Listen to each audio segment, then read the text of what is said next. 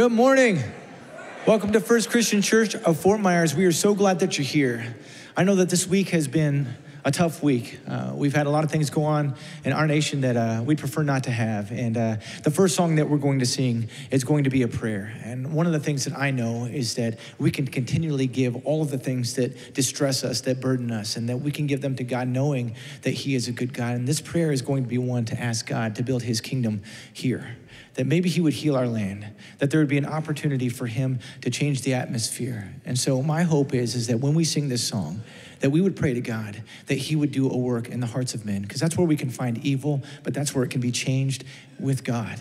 And my hope is, is that we continue to be less of ourselves and that we become more like Jesus. And we can start today by singing songs of praise and pray with me. So let's go ahead and stand and let's sing this morning. Come set your rule and reign in our hearts again. Increase in us, we pray. Unveil our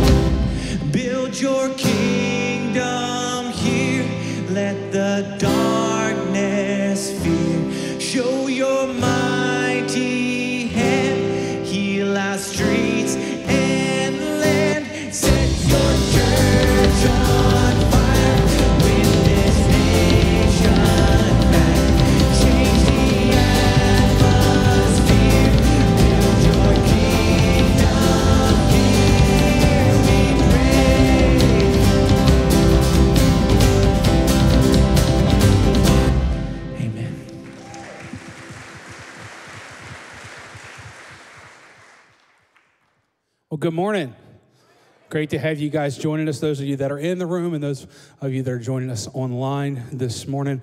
Our mission at FCC is connecting all people to Jesus and to each other. And one simple way to do that is to share on your social media. Let people know that you're worshiping here if you haven't already done so. Do that. And it's great for you to be here to do that in person too. And those of you that are watching online to connect with each other as we spend time in God's word and worshiping together. Let's go ahead and go before the Lord one more time in prayer before we jump back into worship. You know, a lot has happened in our country this week. A lot of people have been impacted by stuff that's happened in Texas. It just there's a lot going on, and we desperately need Jesus. And just as we just sang that song, we need Jesus here. We need him here, and a lot of people need him. So let's go ahead and pray this morning. God, we just we say thank you for giving us another day. Thank you for giving us the opportunity to worship you, to be in your house. For those of uh, our friends and brothers and sisters that are online, Lord God, thank you for having them to have the capacity to be able to join us in worship wherever they're at today. God, we don't just come here because it's something we check off on a box or something we do every weekend. We've come here to meet with you. We've come here to sing praise to you, to connect to you in your word. God, give us ears to hear what you want us to hear today. God, we pray for our world. We pray for the brokenness and the hurt and the pain and those that are suffering today. God, we know that you're our source of hope. And God, we seek you today and we thank you so much for hearing our hearts. And God, just help us to be receptive to all that you have for us. We love you and we've come to worship you this morning. We thank you for it. In Jesus' name we pray. Amen. Let's continue to worship together.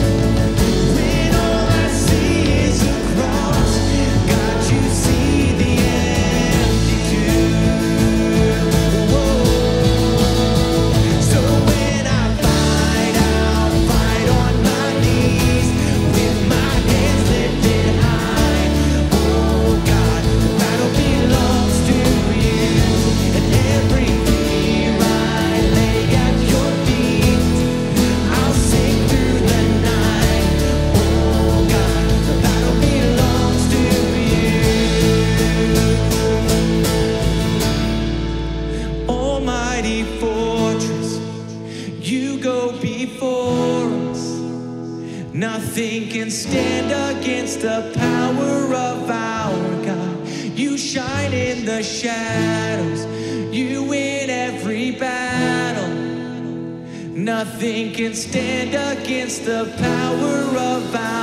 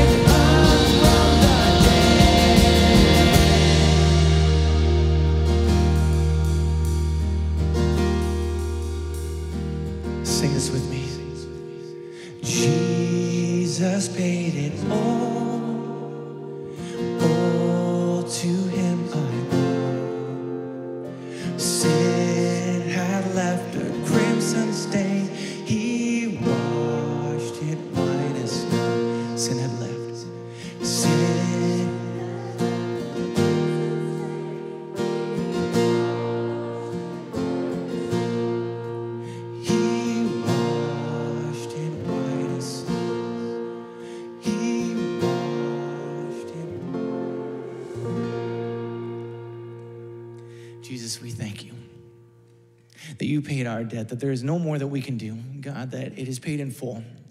We are so grateful. It is why we sing because of your goodness that you have come down to earth, left your throne to give us an opportunity just to be able to walk your way, that we could have eternal life and that we could walk with you. God, I pray that you would be near to us today. God, that you would be close to the brokenhearted as your word expresses.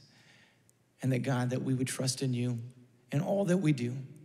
God, that you would help us to express our voices and put our actions into life, and that God, that love would be expressed and people would know because of that love that we had been with you.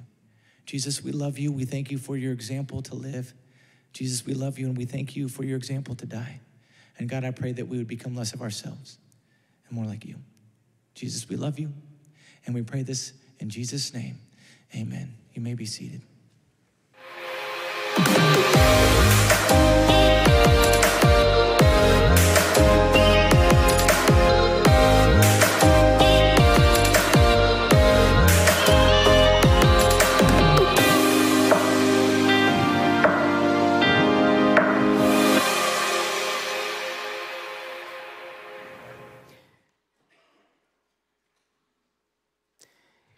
Good morning, FCC.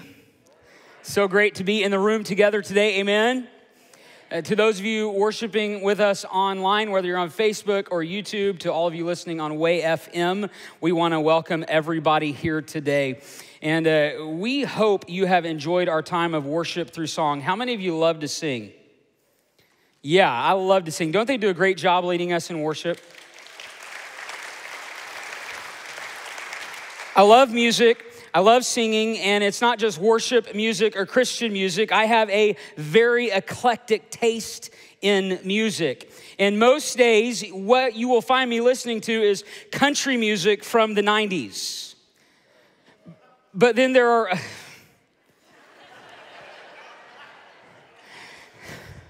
But then there are other days you'll find me listening to rap music, like when I'm running or exercising. And then there are other days you might find me listening to the old crooners, like Sinatra and Dean Martin. Now, before I moved to Florida, I had a 1976 Corvette. And when I drove my Corvette with the T tops off, I liked to listen to rock and roll from the 70s and monster ballads from the 80s. Now, digitally, I have all kinds of stuff on my iPhone. And uh, yes, of course, I use an iPhone, only the crazies use Android. but on my iPhone, I have albums from TobyMac to Lecrae, Elton John to Chicago, ACDC to Michael Jackson's greatest hits. Now, speaking of Michael Jackson's greatest hits. I probably listened to that more than I care to admit publicly. But this is a confidential conversation, right? A safe space to share. So I like Michael Jackson music. How many of you like Michael Jackson? Like his music? What's your favorite Michael Jackson song? Thriller. I knew somebody would say that. Billie Jean, Smooth Criminal, Beat It. That's a song from my childhood. I mean, those are some great songs. But my absolute favorite Michael Jackson song was actually a Jackson 5 song is I'll Be There. You know that one, right? I'll be there to comfort you, build my world of dreams around you. You you know it, yes? Oh yeah. That is it. That is such. It's all of you started smiling when that came on. Doesn't make you, that song just make you feel good? Like I'll reach out my hand to you. I'll have faith in all you do. Just call my name and I'll be there. That's right. You know why I like that song so much? Because it speaks to one of our deepest needs as humans. You know what we all need? We all need people in our lives who will be there for us no matter what. Well, today we're wrapping up a sermon series called Lemonade How to Sweeten the Sour Seasons from the life of Elijah in the books of First Kings and Second Kings. And we are discovering in this series how we can thrive, not just survive, but thrive even during our sour seasons. And sadly, those who study such things say we as a people, as a nation, as a society, are not thriving at all. They say we are facing a mental health crisis of near pandemic proportions. Rates of addiction, depression, anxiety, and suicide have been skyrocketing for the past few years. And aren't we seeing the fallout more and more every single week? When someone can purchased two assault style rifles, 350 rounds of ammunition, seven high capacity magazines in the span of one week, and then go and kill 19 children. Something is seriously wrong. And I have to wonder how much of our mental health crisis has been worsened. Just gonna say it by all the social distancing and constant isolating we've experienced these past few years as a result of not connecting with our loved ones and our families and our friends.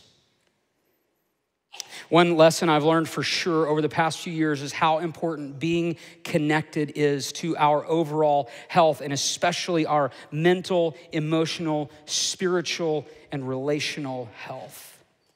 Now, the truth is, and, and, we see this woven throughout the fabric of Scripture, but the truth is, we need each other.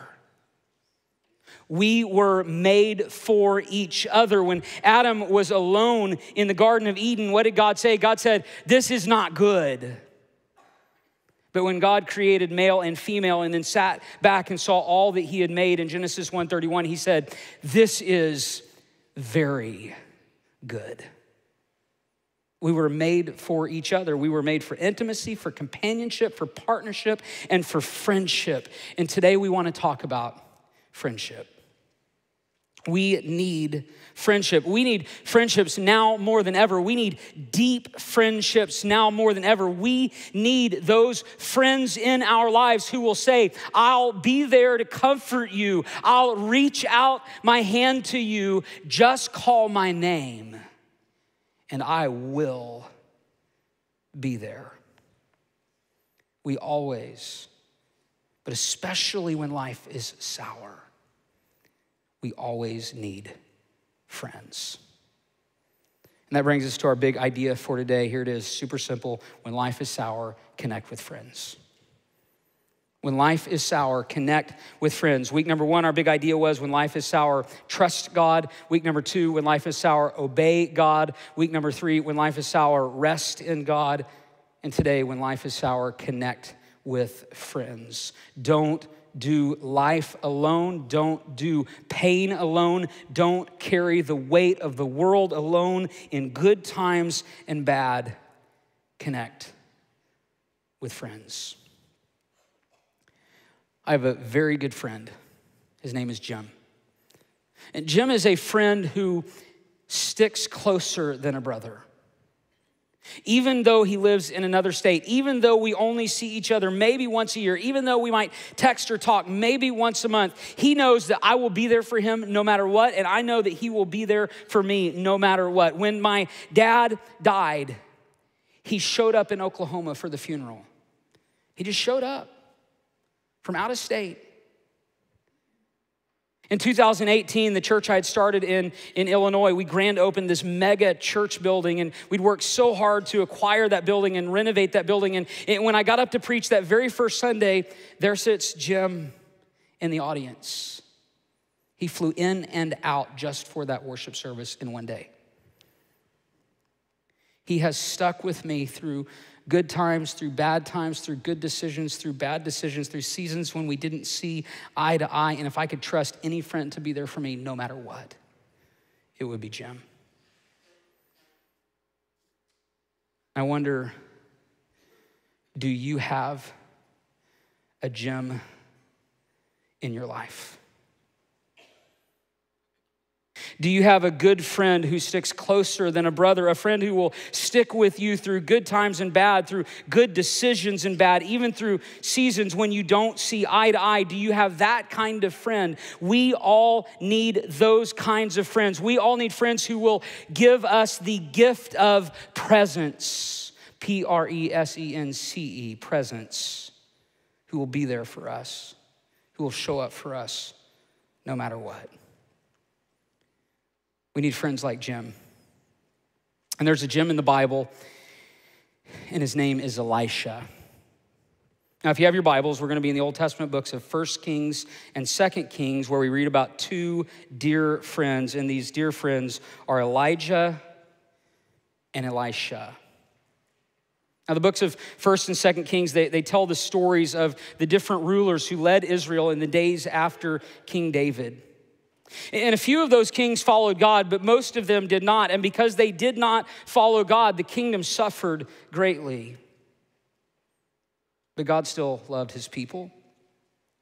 And he cared about them so much, he sent them prophets, people who would speak to everyone about God, and they would share God's words with the people, and they would call the people to repentance. And Elijah was one of those prophets. And, and we've learned, of course, so much about Elijah throughout this sermon series.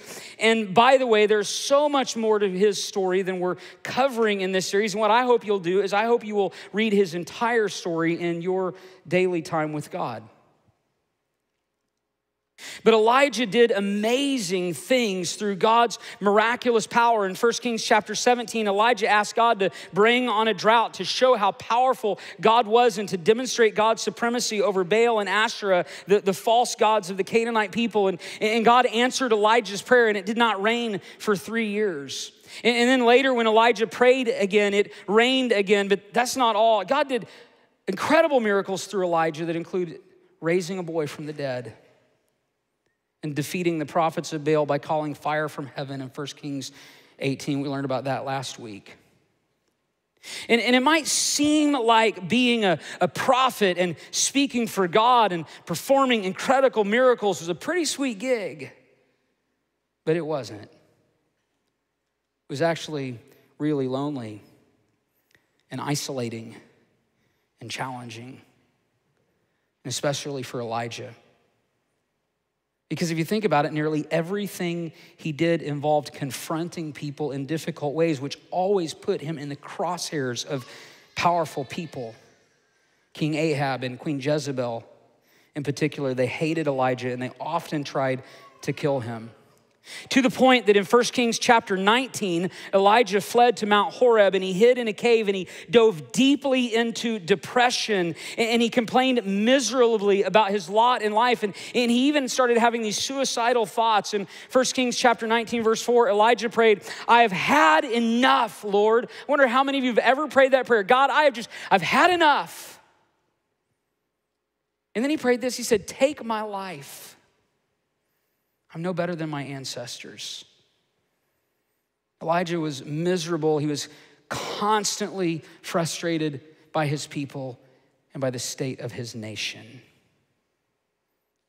1 Kings chapter 19, verse 14, he cried out to God again. He said, God, I've been very zealous for you, Lord God Almighty. The, the Israelites, they have rejected your covenant and they've torn down your altars and they've put your prophets to death with the sword, and I'm the only one left, and now they're trying to kill me too. Elijah felt all alone, completely isolated. And God knew that he needed encouragement. And so God sent Elijah to raise up someone to be the next prophet. And that man's name was Elisha. Not Elijah, but Elisha. Very similar names, two different people. But here's my point God brought Elisha into an Elijah's life to be there for him and to be an encouragement to him. Here's how it went. 1 Kings chapter 19, verse 19 says So Elijah went from there and he found Elisha, son of Shaphat, and, and he was plowing with 12 yoke of oxen, and he himself was driving the 12th pair. And Elijah went up to him and he threw his cloak around him. And you say, Well, what's that all about? Well, putting his cloak around Elisha was a cultural sign that God had chosen this man to be his protege and his friend. And, and, and of course, Elisha, he could have said, uh, no way. I am, I'm a farmer. I'm not a prophet. That prophet life is hard, and I don't want it. But instead, Elisha promised to be there for Elijah no matter what. And, the thing Elijah, Elisha did to signify his promise was, was really nothing short of sacrificial. 1 Kings chapter 19, verse 21 says, Elisha, he took his yoke of oxen and he slaughtered them.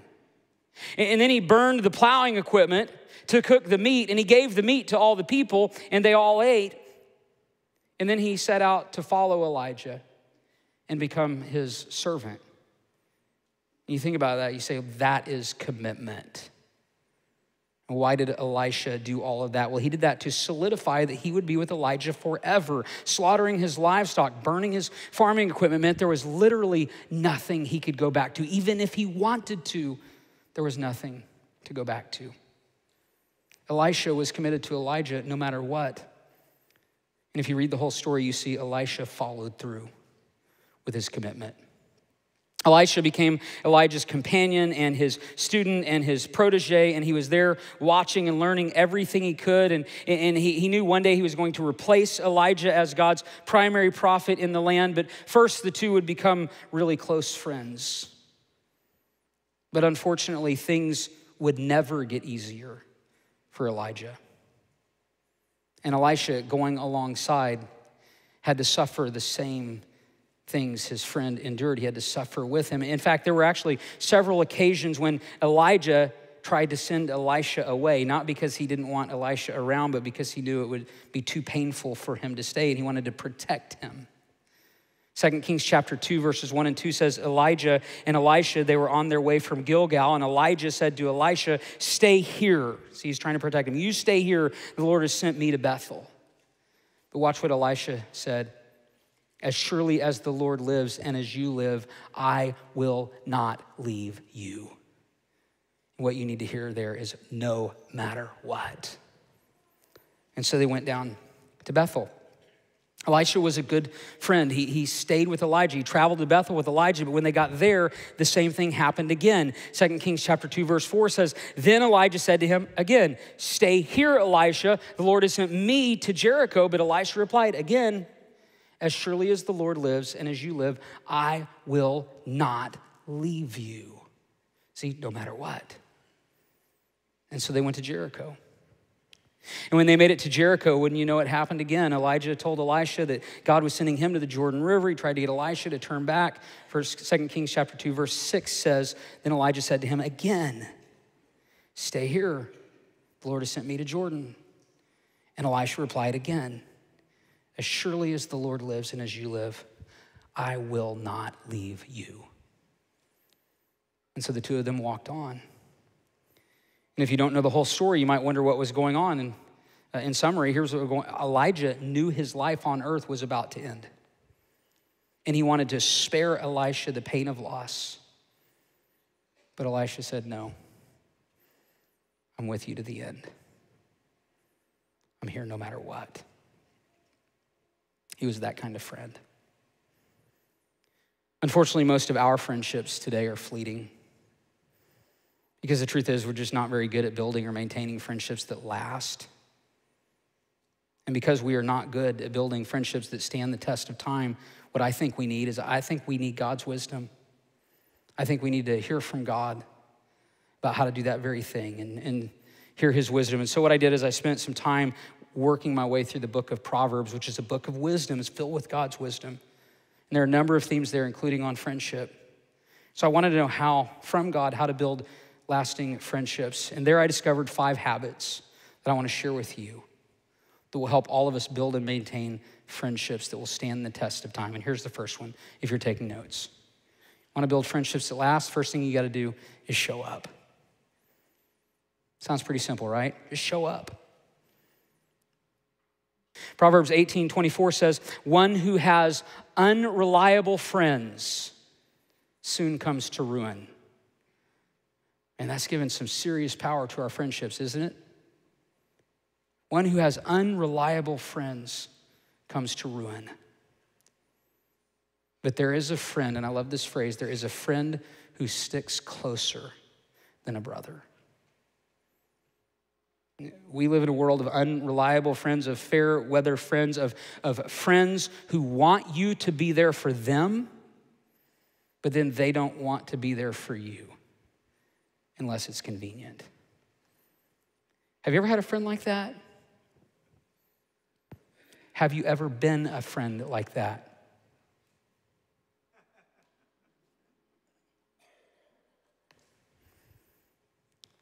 Friendships that last aren't based on convenience.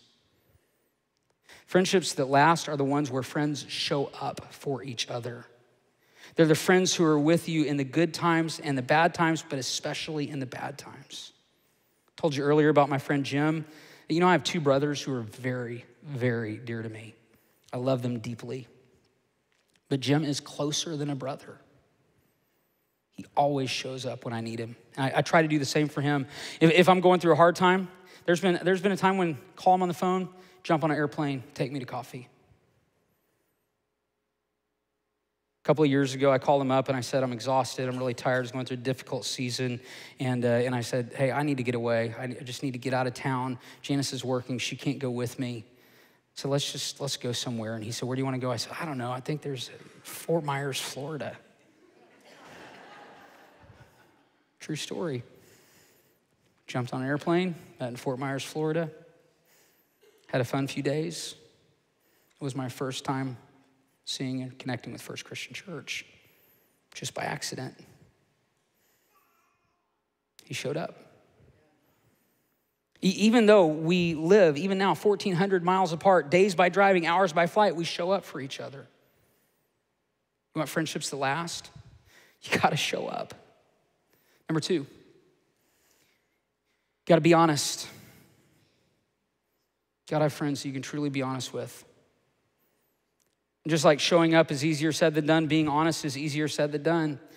And yet, if we're going to build friendships that stand the test of time, we have to be honest. Proverbs chapter 27, verse 6 says this it says, and I love this verse, it says, Wounds from a friend can be trusted. But an enemy multiplies kisses. Now, there are several ways honesty plays out in a healthy friendship. First of all, you have to be honest enough about yourself just to be vulnerable, to be real to not put on a show when you're with your friends. You can't hide yourself or pretend to be something you're not. You have to be who you are, and there's some vulnerability to that. And, when you're not revealing your true self to your friends, that's eventually gonna come out, and your friends will feel betrayed. It will sabotage the friendship. And so we have to be honest about who we are. And you say, well, if I'm really honest about who I am, then they're not gonna like who I am. And the answer to that is if, if they're not gonna like who you are, then let it be known now. It's not gonna work anyway. Another way to be honest is to share your sins and struggles. You need some close friends in your life that you can trust enough to confess your sins and seek accountability. You need friends in your life that you give permission to wound you if you need to be wounded friends who can hold you accountable. And the other way, to be honest, is to share your relational frustrations with your friends. That means if they hurt you, you tell them. If your friendship is suffering because of something they're doing or saying, tell them. Be honest about it. If you're not honest, you'll become bitter, and bitterness destroys friendships. Here's the third thing keep secrets on the DL. For those of you who don't know the lingo, that means the down low. Don't know what that means? Basically, means you don't tell anybody. It means you can keep a secret. Proverbs 16 28 says, A perverse person stirs up conflict, and a gossip separates close friends. What separates close friends? A gossipy person separates close friends. And gossiping about your friends is a terrible way to be a good friend. If you want to build friendships that last, don't talk about your friends behind their backs. First of all, because, I mean, gossiping is just wrong. But when you gossip, it will come out, and when it does, it will hurt everyone involved. If a friend shares a secret with you, keep that secret a secret. Unless the friend is in danger or about to put someone else in danger, keep it a secret. And if you can't keep it a secret because of some kind of danger, make sure to tell your friend ahead of time that you're going to tell someone else. Got to keep secrets. Number four, assume the best. Assume the best. In Eugene Peterson's paraphrase of Proverbs 25, verse 8, this is in the Message Bible, it says this, and I just, I love the way he summarized this. He said, Don't jump to conclusions there may be a perfectly good example or a perfectly good explanation for what you just saw. You know, in the season of COVID, I had to make some difficult decisions for our church in Illinois. And your leaders here, they had to do the very same thing for FCC.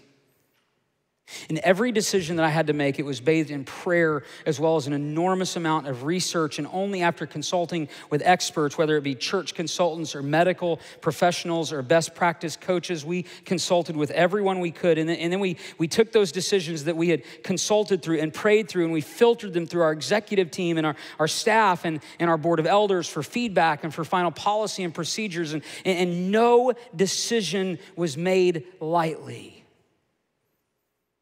which made it extra difficult when people just assumed decisions were made lightly, or worse yet, with some political agenda in mind.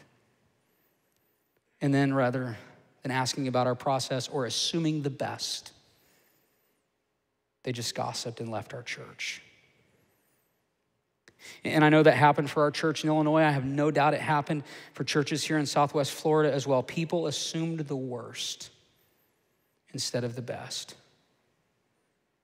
And just a simple reminder questioning motives is always judgmental and rarely helpful. Same is the case in friendships. There's going to be misunderstandings, especially in long term friendships. There's going to be hurt, there's going to be pain in long term friendships, there's going to be confusing seasons in long term friendships, and, and we just need to get to a posture of assuming the best, not the worst. Say, but I'm confused about this, something that happened. Well, be honest, ask, listen, learn. Most people, and, and uh, certainly most of our friends, I think at the end of the day, they're just trying to do the best they can with what they have. And that's not always easy. If you always assume the worst with your friends, your friends will not last. Over time, they'll be burdened with mistrust, eroded, and they'll fall apart. And the number five, and I think this is the most important, we have to forgive one another. We have to forgive. As we just said, there's gonna be misunderstandings, there's gonna be hurt, any long term friendships, there will be pain. And that means to stand the test of time, there will have to be a lot of grace and a lot of mercy, a lot of the biblical phrases covering over of the offense, a lot of forgiveness. Proverbs 17 9 says, Whoever would foster love covers over an offense. But whoever repeats the matter separates close friends. When your friends hurt you, and they will, let the offense be covered over and move on, and don't keep repeating the matter. Otherwise, the friendship won't last. People who struggle to forgive will always struggle to maintain long term friendships. And so, if you want to build friendships that, that last, you want to be there for your friends, you want your friends to be there for you, like Elisha was for Elijah, God's wisdom shared with us in the Bible says, show up, be honest, keep secrets, which means don't gossip about your friends, assume the best when you don't understand what's happening, and forgive one another. As Christians, I think we just think about it like this if Jesus can forgive us, then certainly we can forgive others. If Jesus can offer us his grace, then we can offer grace to our friends. And when we learn to relentlessly offer grace, our friends will become friends for life. And that is something we all need deeply trusted and loyal friends who will show up, who will be there for us in the good times and the bad. And that brings us to our takeaway for today. Uh, in our discipleship path here at FCC, we talk a lot about being fully connected. And here is a great way to connect and encourage your friends. I want to encourage you to do this right now. Super simple, very practical. Pull out your cell phones. You got them. Go ahead and pull them out. I hope you'll do this before you leave. I'd love it for you to do it right now. Text your friends. Text one, pick one. One probably came to mind as text your friends. Say thank you. That's our takeaway for today. Let's pray. Heavenly Father, thank you that you have not only called us to serve you and serve your kingdom, but you've also called us friend. That we could be called the friends of God is an incredible thing. Thank you, God, for your relentless grace and your mercy, for your forgiveness and your restoration, for drawing us into an everlasting relationship with you. Help us to do the same, to develop long lasting friendships that honor you, that we would show up, that we would be honest, that we would keep trust, we'd assume the best. Whenever necessary, forgive the friends you've given us. God, thank you for using good friends to bring health and healing to our hearts, minds, and souls. In Jesus' name we pray. Amen.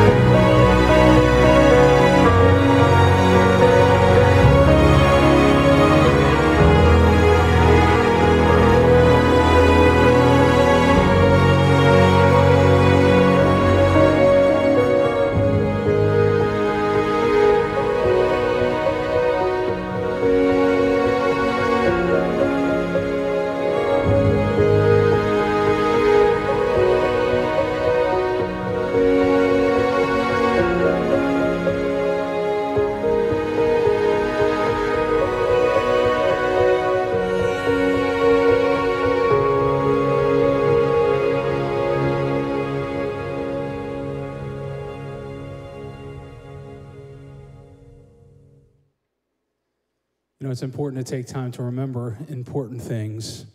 This week on my Facebook timeline, brought up a conversation with a kid in our house about Memorial Day last year. And I was asking him, I said, You know why we recognize and we take the time out for Memorial Day? He said, I don't remember exactly. I know it has something to do with the soldiers. So I went on to tell him that it's not just recognizing soldiers, but those that have given their life to sacrifice in serving our country. And then he went on to say that's why he took Battleship to school that week and trying to help him understand why we take time to remember. It's important to set aside time to pause to remember important things. And we obviously do that to recognize those that have sacrificed so much for us and to say thank you in honor of their service and sacrifice. Every week we come together at this table to also remember the sacrifice that Jesus has given for us, to remember and pause and reflect on his life, the way he lived, and the reason why he came, and that he died for us. John 15, 13 reminds us greater love has no one than this, than to lay down one's life for his friends. So, as we were instructed, we're going to take communion together. You can prepare your elements, those that are in the room, and those of you that are online. For I received from the Lord that which I also delivered to you, that the Lord Jesus, on the same night in which he was betrayed, he took the bread. And when he had given thanks, he broke it and he said, Take and eat. This is my body, which is broken for you. Do this in remembrance of me. Let's go ahead and take the bread this morning together.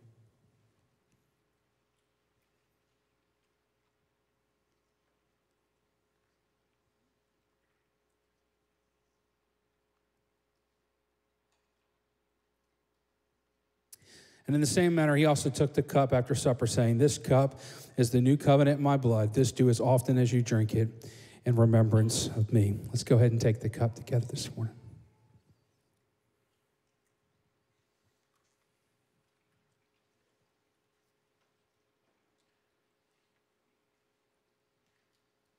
Jesus, thank you. Thank you for your life. Thank you for your love. Thank you for the cross.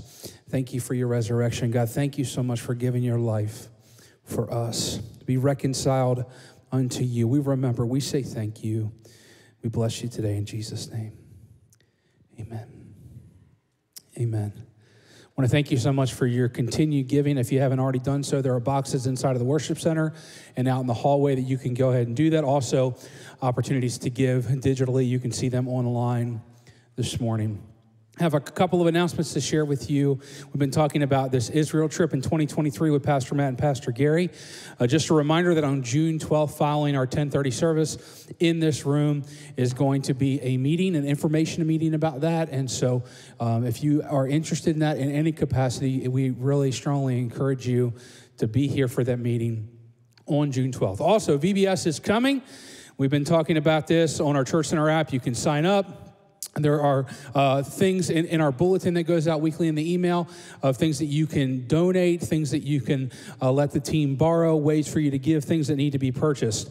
This is the first time this has happened since I've been here, but our actual registration space is full. And now we actually have a waiting list and we would love the opportunity to open up for those other kids that are signed up on the waiting list to be able to come, but we need some more help and some more volunteers. And so we want to encourage you, if you haven't already done so, we want to get you to join us on this incredible week to serve our community and help us meet the needs of some of those families right now that are on the waiting list that we don't have room for. And so we need help. So help us out. Again, you can sign up for that on the Church Center app where you can see Alicia and she'll be happy to help you with any questions you have. If you're a guest joining us today online, thank you so much. If you're in the room, we're so glad to have you here. Pastor Matt's going to be at the guest counter across from the cafe. He'd love to connect with you after this service. And if we can pray for you, we'd love to do that. Send us a message. And if you're physically in the room and would like some of us will be down here, there's a cross down here at the stairs, and we'd love to pray for you before you leave. Will you stand so I can bless you today in Jesus' name before we are dismissed? God, I thank you so much. My brothers and sisters that are here, those that are watching online. God, we thank you so much, Lord God, that you've made community for us and you've called us to that. Jesus, you've done so much in community. You tried to build it up around us that we need friends. We need to be a friend. People are hurting. They need somebody to love them, Lord God. Help us to connect in the ways that Pastor Matt encouraged us to. Thank you for this word this morning, Lord God, even as we go this week. God, there, there are folks, Lord God, that are struggling and they need somebody to wrap their arms around and to pray for them, to come beside them. Help us to be that friend. God, we bless you and we thank you so much this week to, for the opportunity to be a light in the darkness, Lord. Help us to do that. God, I pray blessings over every person in this room, all of our church family, and those that are watching online. In Jesus' name, amen. God bless you guys. Have a great week.